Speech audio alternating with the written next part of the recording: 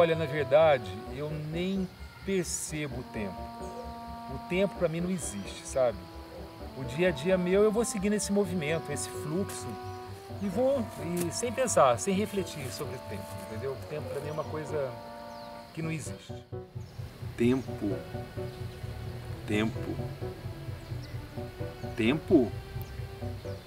Tempo. Tempo. Tempo. Tempo. Sei lá, acho que, não sei. Gente, que sofrimento. Falar de tempo.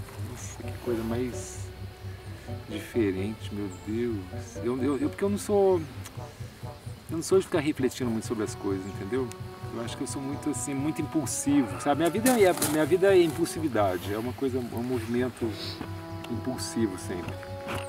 Eu não sou de ficar parado assim, refletindo sobre as coisas. É lógico que eu fico parado, entendeu? Eu paro muitas vezes durante o dia e fico envolto nesse silêncio que é tudo isso aqui. Mas refletir mesmo sobre as coisas, eu eu sou mais contemplativo, entendeu? Do que reflexivo